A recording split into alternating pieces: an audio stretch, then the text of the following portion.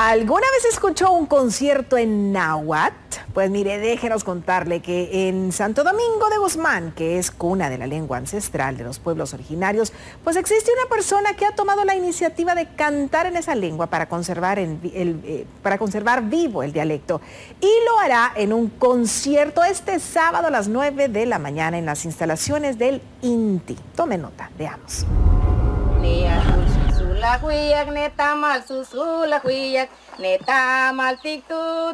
Yitik yahanusang Es la lengua ancestral de los pueblos originarios.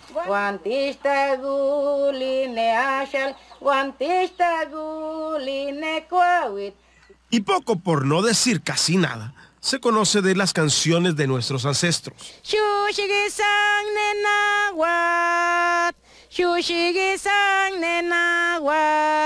Pero Anastasia López, nativa de Santo Domingo de Guzmán, en Sonsonate, se ha propuesto mantener viva la tradición de conservar la lengua ancestral, del que en el pasado fue el señorío de Cuscatlán. Yo vengo hablando el náhuatl desde chiquita, desde tierna, porque mi mamá y mi, y mi papá hablaban náhuatl. Entonces mi, mi linda madrecita, y ella me acariciaba cuando ella estaba embarazada, ella me acariciaba en su lindo vientrecito ya en náhuatl.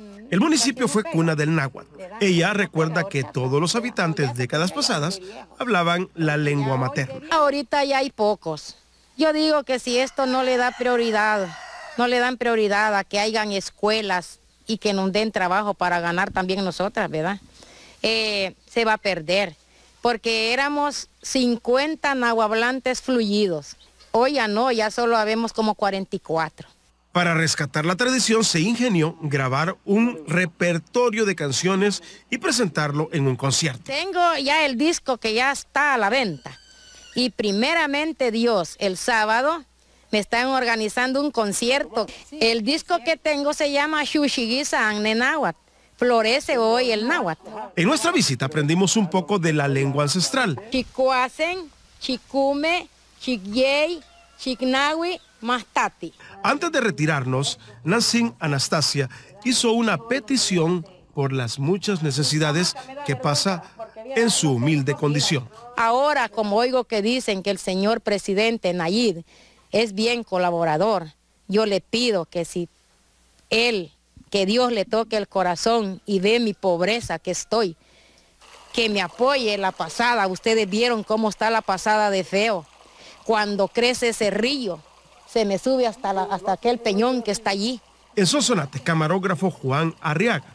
Herbert Aragón Noticias, Cuatro Visión. Hay que de verdad conservar esta lengua, hay que asistir a estas actividades y apoyar a los nahuatl hablantes, de verdad que sí.